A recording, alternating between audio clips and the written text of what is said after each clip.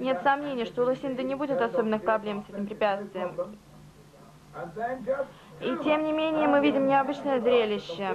Бывшая чемпионка мира на земле. Виржиния идет очень хорошо спокойно, с полным подчинением лошади.